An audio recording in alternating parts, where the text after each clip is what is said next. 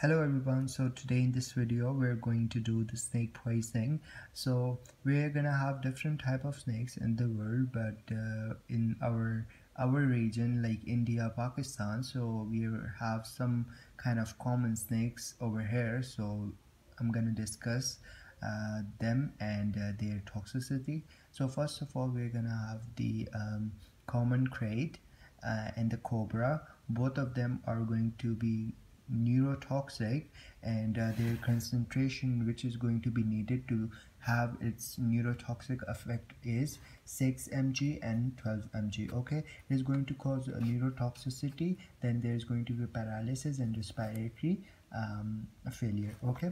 Then there is viper. Viper is going to be vasculotoxic toxic it's toxic vasculotoxic then it is going to cause the hypercoagulation and thrombosis.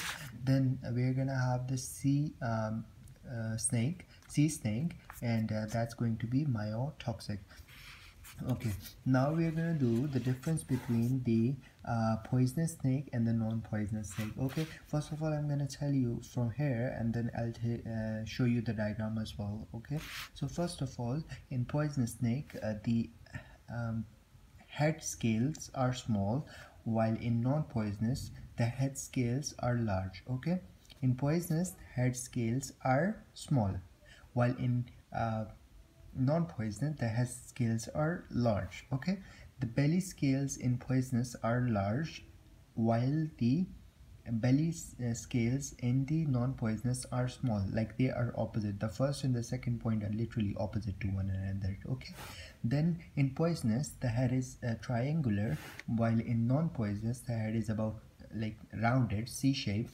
Then the poisonous one is nocturnal usually come out in night while the non-poisonous one is uh, 24 hour snake like it does not matter the time does not matter then um, uh, if you check the bite mark so there's going to be two uh, teeth mark uh, on the skin while in the non-poisonous one there is going to be circle circular mark like the c-shape mark semicircular mark not the bites and uh, in poisonous the tail is compressed which i'm going to show you. And uh, in non-poisonous the tail is blunt. Now uh, let me show you the picture. Just give me a second. Okay. Just look at it. So as I told you uh, then uh, the the this is the poisonous one and this is the non-poisonous one. So in poisonous one the the scales on the head are small while in the non-poisonous one the scales on the head are large as you can see.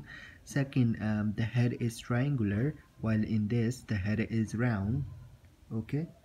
Then I told you that uh, the tail is uh, compressed in the poisonous uh, poisonous and uh, in non-poisonous the scale is the tail is blunt.